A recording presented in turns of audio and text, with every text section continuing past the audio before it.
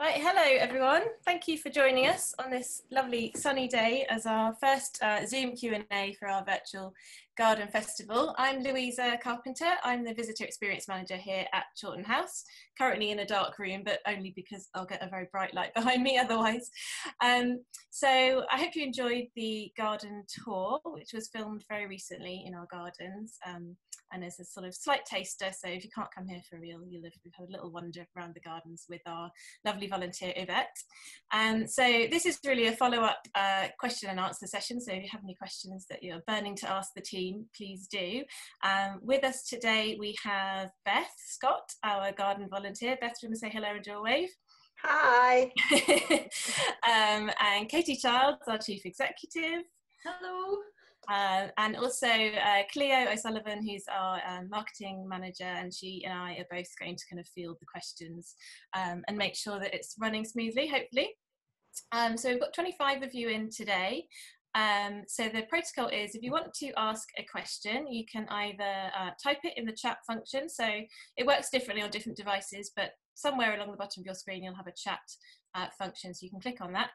Um, or you can also go to participants and you can raise hand. Um, and if you raise your hand, we will come to you, we'll unmute you, and you can ask a question that way as well. So whichever you feel comfortable with, um, go ahead and do that.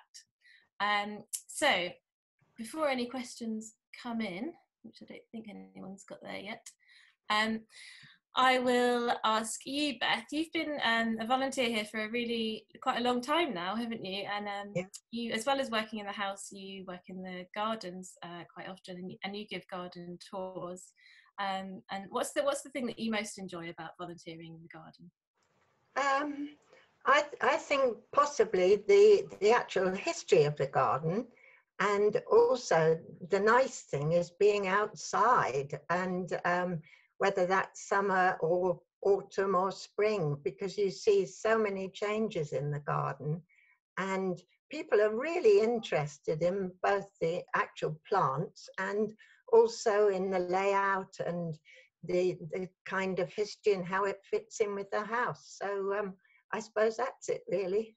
Yeah, and it, and you're right. It really does change, as all gardens do change through the seasons. But what's been lovely recently, and and equally sad that people haven't been able to enjoy it is that it's really suddenly bursting in, into bloom. So for the tour video, we filmed a bit about a month ago, but then went back and filmed last week for the roses and things like that because they're suddenly just amazingly beautiful. They um, are, and and they smell so lovely. And the spring flowers have been amazing because we didn't cut the grass so much, and and the yes. cowslips have been lovely. Really. Yes, there's lots of wildflowers now, which is really lovely for all the, the bees that are sort of buzzing. You hear them; it's really loud. It's always louder than the road, which is nice sometimes. um, so someone has asked a question. So uh, there's a question on the chat from Caroline Rollings. And I, I don't know if this is like typo, so I can't quite read what she said. But it says, "Hi, I'm in the herbs. I think maybe interested in the herbs. Um, what are they, and what did they do with them?" So I think that's the Blackwell Herb Garden. That's probably a question for you, Beth. Um, possibly, yes. um, certainly, I can. I can sort of talk about Elizabeth Blackwell and also um, some of the herbs that were planted in the, in the first place. But I think that uh, Julia can probably talk much more about um, the future plans of the herb garden.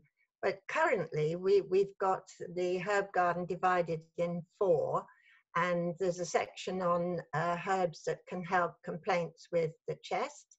Another one is uh, the skin, and then there's digestion and um, problems with the head, sort of headaches and madness and all sorts of things.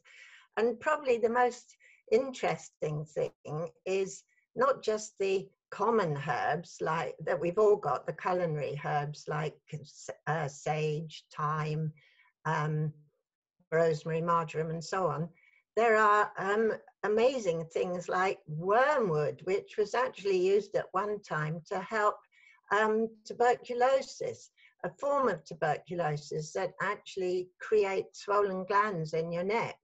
And um, I'm not quite sure if it's still used, but I believe it is still used for Crohn's disease as well. So So there are all sorts of things, or maybe that's hemlock. I might be getting confused there because hemlock's another one that I don't think any of us would would take now. So um, you know, fashions change, and also they find out whether things are poisonous or not.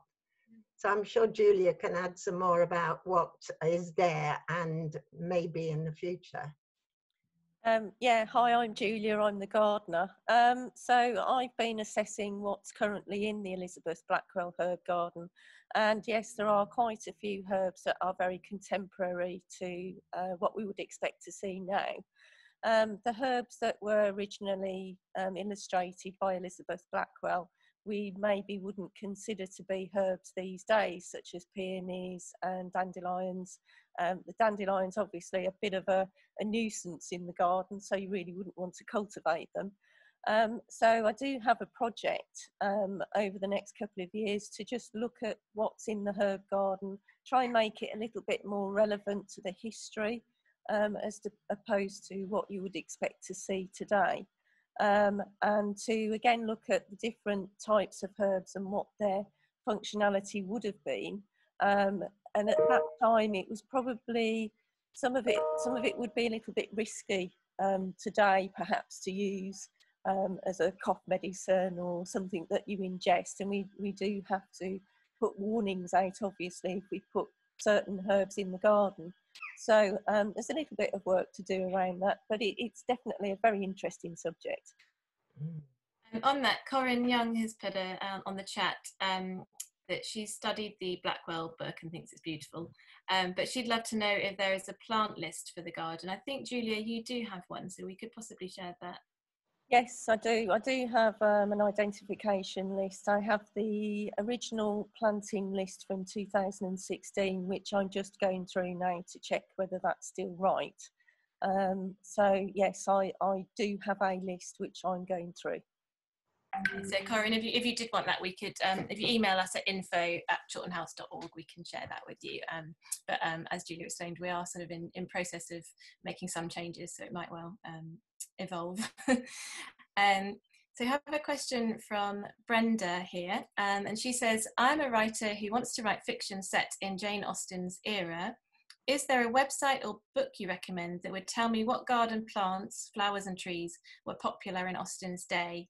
Um, I think possibly Katie will have some good thoughts about that, but you might as well, Julia. So if we start oh, with... if I'd, have, if I'd known, I could have got oh. more props than are within my, my, my reach. Um, because uh, in one of um, the other rooms, I'm in my um, I'm in my flat in uh, in London. I'm looking quite jealously on at Julia being in the courtyard at Chawton House. Um, so uh, Kim Wilson's book, and actually Kim Wilson is speaking. Um, she's at the end of the festival.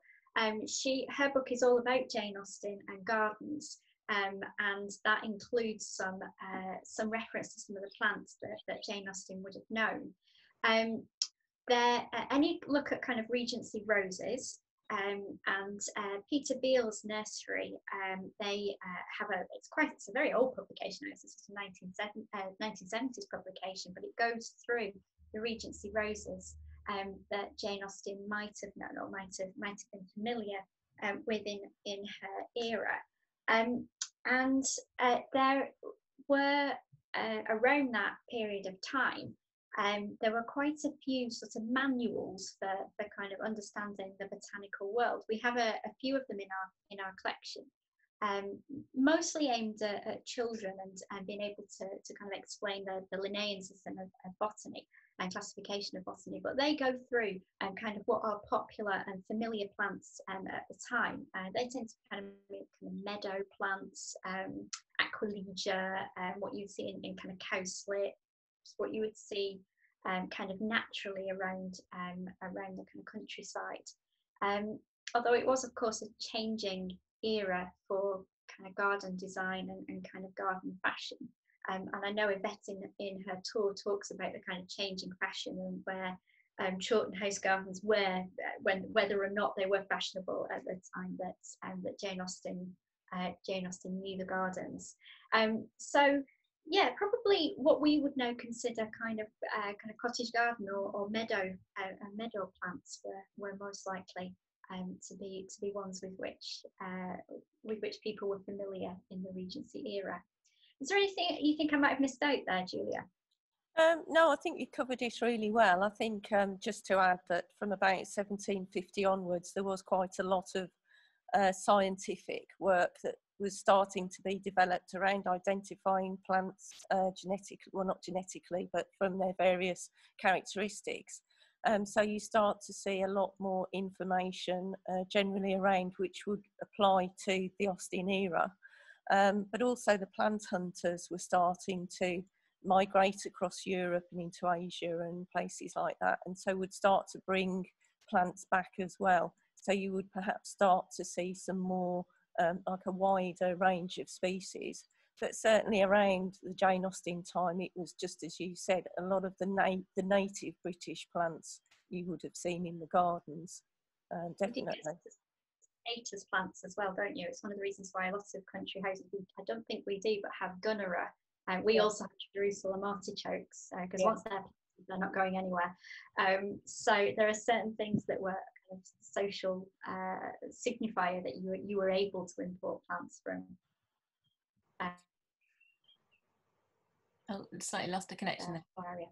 Oh, there we go. Um, so Mrs. Lyon on the chat is asking if any of Jane Austen's family come to visit um, the house that their ancestor called home. And of course, um, we are very familiar with some of Jane Austen's descendants. um, so uh, two of them particularly well. So um, Richard Knight is the current freeholder, direct descendant of Edward Austen Knight, um, and he inherited the estate um, and was was really the person that we're, we're thankful to for being here because he's he's the one that sought out Sandy Lerner as the initial um, funder and um, behind the project of Chawton House Library. Uh, he's still on our board of trustees and he visits very often.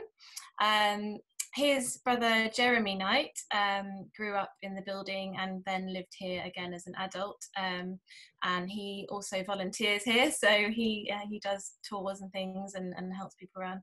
Um, and his daughter Caroline, who also grew up in the building, um, actually gave a talk for us as part of our literary festival um, a few weeks ago. So that's on our YouTube channel and can be can be watched still. Um, and that kind of gives a good over, overview of how it feels to be a, a descendant of Jane Austen and growing up in this building. Uh, I don't know if anyone else has anything to add to that because Jane Austen, the Austen and the Knight families were both quite large. Um, so we're very lucky we have the, the direct descendants with Jeremy and Richard and the, and the families. Um, but yes, there are there are others who have come to the house as well who are related to, to Edward in um, in all sorts of different ways. He had 11 children, did Ed, Edward Austen Knight, so that is that's going to create quite a large family yeah, lots of descendants and people who possibly don't even know it yet. um, so there's another question from Rebecca H, um, and she says there's a very established wisteria in the garden, and I'm thinking about getting one for the first time in my garden. Uh, are there any tips for the first time wisteria growers? Probably one for you, Julia, I think. Mm. I have to admit I'm not an expert uh, wisteria grower, um, so I would only say what I would say about any plant is make sure that you get one from a reputable nursery, so make sure it's a good stock. Um, you can get different types of wisteria, so uh, there's a floribunda type, um, and there's another one, so I can't remember the name at the moment, um, but they have different types of flowers, so you could have purple flowers white flowers. Some of them are more abundant than others, so you can grow with really long racemes. Um, some are scented, more, more scented than others. Um, you need to look at the area that you're going to plant the wisteria into to look at whether it's the right size. Um, and the pruning of it is quite particular as well, so make sure you read up on the pruning. But yeah, generally just make sure you've got a really good uh, quality plant and that where you're planting it is in the right location. They don't like it too shady, so make make sure it's in a nice sunny spot um, and up a wall, or you can train them as like um, a small tree um, as well. So yeah. Can I just add something there? Um, mm-hmm. I have a lovely wisteria in the garden, and two other things. One is that it it, it took an awful long time to become established and then it went crazy. And um, also do protect them from frost because mine always gets frosted in the spring unless because you have frosts in May and the blooms are starting to come out and they always get frosted if I don't cover it with um, some fleece. So uh, just a bit of advice. yeah, I, yeah, I think I think that's down to aspect, isn't it? So yeah, the sunny spot, something not on a north or east facing. Probably it's probably better on a south or west. Um, and a follow up question um, from Caroline. She says, "Would you prune them in Ju- June or July?" So there's two times in the year that you prune them. You do prune them in July, and I think it's back to six buds, um, and taking all the long tendrils off because they can go a bit wayward unless you want to train them in along the wall. Um, and then you prune them again in January, and I believe that's back to three buds to get the flowers. But double double check that because I don't have my notes in front of me. So um, yeah, that. But basically, those two times of year you do need to prune them. Brilliant, thank you, Julia. Um, another question from um, Deborah Somerville asks, um, well, she's wondering really why the walled garden moved around so much. Um, something I've wondered myself because it, it does move quite substantially. Um, Beth, do you have any thoughts on that? Um, I, I know that when it was down close to Gosport Road and opposite the rectory, that land didn't actually at that time belong to the house and it was rented. And so I presume that's one reason. And another um, site was actually to the um, sort of the south of the church and quite close to the wilderness. Now, I don't know why it moved from there, except that that perhaps being on a slope and at the bottom it's a bit wet. I don't know. And also perhaps by uh, siting it where it is now, um, Edward felt that it was closer to the house and better for um, getting the vegetables and so on down to the house. But I don't actually know any other reasons than that, I'm afraid as often the way sometimes we just have to speculate don't we? If they haven't written it down. Um, so i think we're almost uh, about to wrap up but i just wanted to um, clarify because um, the first question i hadn't quite read it pro- uh, properly but she's clarified for me. Um, so on the herb garden um, it was that she was particularly interested in the herbs that were good for the skin. Um, so i don't know if you're able to just tell us a bit about those Sorry to put you on the spot. um, I can't remember what's in that bed at the moment, I'm afraid, but um, I know chamomile is, but I can't remember exactly off the top of my head what's what's in that bed. I don't know if you can, Julia. Can you? Yeah, I've I've got the list here of the original planting plan for skin, um, and it says oregano, comfrey, oh, yarrow, um, which we all know is Achillea now, uh, lavender, which is quite an obvious one, I think, house leek, perhaps that's a little bit like, um, oh, the, um, that one that you put on your skin when oh, you like an aloe. Aloe, is it? Aloe, that's it. Yeah. yeah, so maybe that's like that. Calendula, I've seen that in a skin product. Um, interestingly enough, I've got euphorbia here, which is like a real no-no. you would not put that anywhere near your skin.